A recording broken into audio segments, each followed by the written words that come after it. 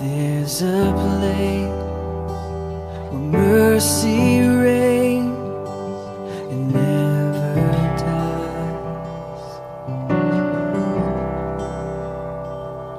There's a place where streams of grace flow deep and wide. Where all the love ever found. Comes like a flood, comes flowing